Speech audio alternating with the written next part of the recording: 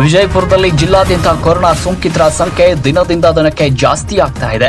ಮತ್ತು ಇಂದು ಕೂಡ ಇನ್ನೂರ ಎಂಬತ್ತೆಂಟು ಜನರಿಗೆ ಕೊರೋನಾ ಮಹಾಮಾರಿ ಒಕ್ಕರಿಸಿದೆ ಇನ್ನು ತಾಲೂಕುವಾರು ವಿವರಗಳನ್ನು ನೋಡೋದಾದ್ರೆ, ವಿಜಯಪುರ ಗ್ರಾಮೀಣ ಭಾಗದಲ್ಲಿ ಹದಿಮೂರು, ನಗರ ಭಾಗದಲ್ಲಿ ನೂರ ಅರವತ್ತೊಂದು, ತಿಕೋಟಾದಲ್ಲಿ ಎರಡು, ಬಬಲೇಶ್ವರದಲ್ಲಿ ಹದಿಮೂರು, ಬಸವನ ಬಾಗೇವಾಡಿಯಲ್ಲಿ ಹತ್ತು ಕೊಲ್ಹಾರದಲ್ಲಿ ಹದಿನಾರು ನಿಡಗುಂದಿಯಲ್ಲಿ ಒಂದು, ಇಂಡಿಯಲ್ಲಿ ಇಪ್ಪತ್ತೈದು ಚಡಚಣದಲ್ಲಿ ಹತ್ತು ಮುದ್ದೆಬಿಹಾರದಲ್ಲಿ ಹದಿನಾಲ್ಕು, ತಾಳಿಕೋಟೆಯಲ್ಲಿ ಎರಡು, ಸಿಂದಗಿಯಲ್ಲಿ ಹತ್ತೊಂಬತ್ತು ಸೇರಿದಂತೆ ಉಳಿದ ಜಿಲ್ಲೆಗಳ ಇಬ್ಬರು ಸೇರಿದಂತೆ ಒಟ್ಟು ಇನ್ನೂರ ಎಂಬತ್ತೆಂಟು ಜನರಲ್ಲಿ ಕೊರೋನಾ ಮಹಾಮಾರಿ ಪತ್ತೆಯಾಗಿದೆ.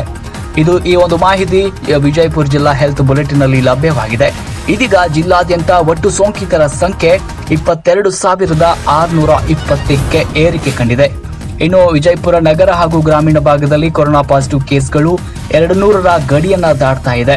ಇದು ವಿಜಯಪುರ ನಗರದಲ್ಲಿ ನೂರ ಅರವತ್ತೊಂದು ಜನರಿಗೆ ಹಾಗೂ ವಿಜಯಪುರ ಗ್ರಾಮೀಣ ಭಾಗದಲ್ಲಿ ಹದಿಮೂರು ಜನರಿಗೆ ವೈರಸ್ ಪತ್ತೆಯಾಗಿದೆ ಎಂದು ವಿಜಯಪುರದ ಜಿಲ್ಲಾಡಳಿತದ ಹೆಲ್ತ್ ಬುಲೆಟಿನ್ನಲ್ಲಿ ಮಾಹಿತಿ ಲಭ್ಯವಾಗಿದೆ.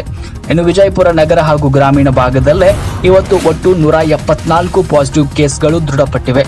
ಅದಕ್ಕಾಗಿ ಜನತೆ ಸಾಮಾಜಿಕ ಅಂತರವನ್ನು ಕಾಪಾಡಿಕೊಂಡು ಕಡ್ಡಾಯವಾಗಿ ಮಾಸ್ಕ್ ಅನ್ನು ಬಳಸಿ ಕೊರೋನಾ ತಡೆಗಟ್ಟುವಲ್ಲಿ ನೀವು ಕೂಡ ಕೈ ಜೋಡಿಸಬೇಕಾಗಿದೆ. ಇದು ಟಿ ನ್ಯೂಸ್ನ ಕಳಕಳಿಯ ಮನವಿ.